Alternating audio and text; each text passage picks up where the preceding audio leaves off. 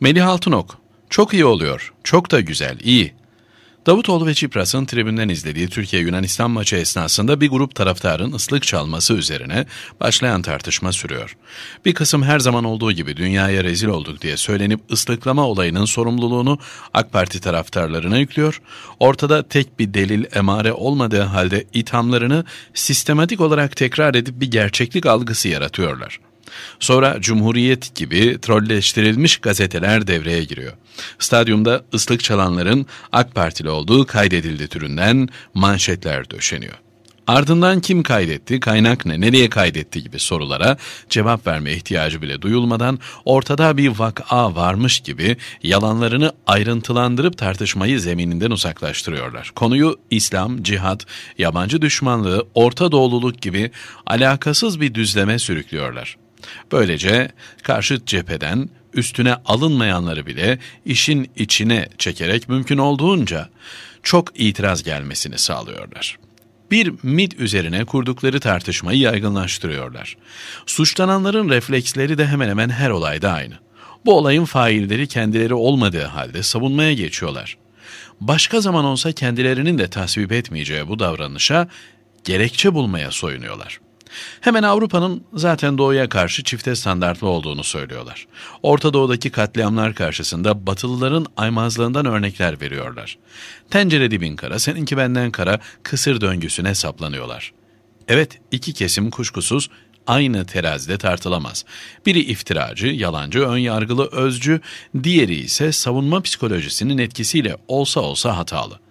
Anlıyorum iftiralardan sorumlu olmadığımız konularda sürekli mesul tutulmaktan, kendinizi izah etmek zorunda bırakılmaktan sıkıldınız, bunaldınız. Gelişine vuruyorsunuz işte. Batı'nın iki yüzlülüğüne, oryantalizmine dair söylediklerinizde de sonuna kadar haklısınız.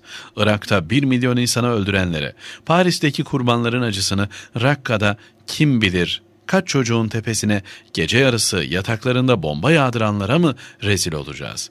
Ya da AVM'de Arap turist görmekten, başörtülülerin cipe binmesinden rahatsız olanlar mı sizin insanlığınızı test edecek?'' Ama bu gerçekleri ve isyanınızı yükseltmek zorunda bırakıldığınız zamanın ve mekanın kendisinin nasıl bir tuzak olduğunu görmüyor musunuz? Yetsin artık. Kadın cinayetlerinden tutun da çöplerin zamanında kapıya konulmamasına kadar her türlü sorun siyasi tercihlerine fatura edilen AK Partililer biraz soğukkanlı davranıp bu kısır döngüden yakalarını sıyırmalılar. Masumiyet konusunu es geçersek, davranışları ve söylemleriyle birer çocuktan farksız olan isterikleri kayıtsız kalarak nefretlerine hapsetmeliler. Kendini jiletleyen tinerciler gibi sağa sola sataşan siyasetçileri, gazetecileri, akademikleri kendi cehennemlerinde bir başlarına bırakmalılar. Ne demişler? Aptallarla tartışmayın zira diğerleri aranızdaki farkı anlamayabilir. Hatta ideali bu tür saçmalıklar karşısında bol bol gülmek ve geçmek. Bu hem kendi ruh sağlığınız için hem de yiğit özgür karakterinden farksız olanların oksijen tüketmek dışında şu hayatta bir işlev kazanmaları için faydalı olacaktır. Ben son zamanlarda deniyorum bir sokak röportajıyla meşhur olan o vatandaşımızın dediği gibi çok iyi oluyor, çok da güzel iyi oluyor tamam mı? Melih Altınok, Sabah